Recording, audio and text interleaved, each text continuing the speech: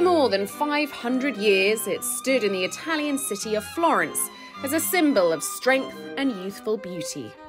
Michelangelo's David, the heroic biblical figure in the act of confronting the giant Goliath. Over the last year, state of the art technology was used to make the most authentic replica ever made. High resolution cameras scanned the 17 foot marble statue for all its minute characteristics and details. Then, the world's largest 3D printer set to work.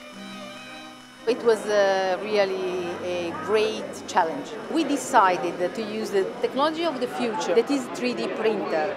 That's why it was difficult to find a printer able to print big pieces. Uh, at the end, we divided it in 14 pieces and uh, we had to reassemble them together.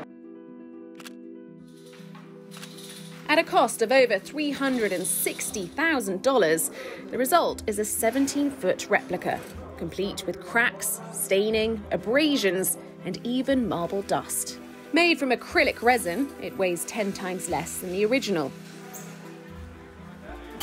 Last month, the new Digital David travelled more than 4,000 kilometres to Dubai. Unveiled as the centrepiece at the Italian Pavilion for Expo 2020. Expo is a border of change. It's a place in the world where the new world post-pandemic will start. So it's a perfect point in the world to show the vision to renaissance, to recovery, to the new startups of our life. Its presence is taking on greater significance for Florence, whose tourism sector has been battered by the pandemic. Millions of people that are, are coming here, Expo Dubai 2020, I'm sure they would like immediately to visit Florence to know the real history of David. Digital David will stand before the public during Expo 2020 for six months from October.